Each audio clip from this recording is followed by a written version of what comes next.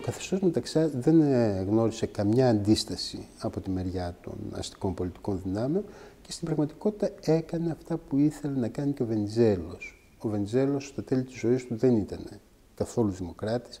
Αντίθετα, προσπάθησε με κάθε τρόπο να επιβάλλει ένα αυταρχικό καθεστώς, το οποίο ενδεχομένως δεν θα είχε το ιδεολογικό περίβλημα της 4ης Αυγούστου, αλλά το οποίο θα ήταν ένα πάρα πολύ αυταρχικό καθεστώς, κυβέρνησε με τέτοιο τρόπο.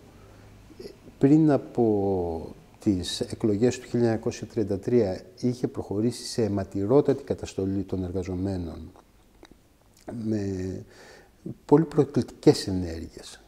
Μπαίνε, έμπαινε η αστυνομία σε ε, γραφεία εργατικών οργανώσεων και σκότωνε. Και αυτό γινόταν με την επίνευση του καθεστώτος, δεν γινόταν με τοπικές πρωτοβουλίες. Και προσπάθησε να δείξει ο Βεντζέλος ότι αν ξαναεκλεγώ το 1933 στην Ελλάδα είχαμε εκλογές την ίδια ημέρα που είχαμε και στη Γερμανία, στις 5 Μαρτίου του 1933, που ήταν πολύ κρίσιμες εκλογές για την ιστορία της χώρας. Αυτό που ήθελε να πει στους αστούς ο Βενιζέλος ήταν ότι εγώ θα λύσω το πρόβλημα της λαϊκής αντίστασης.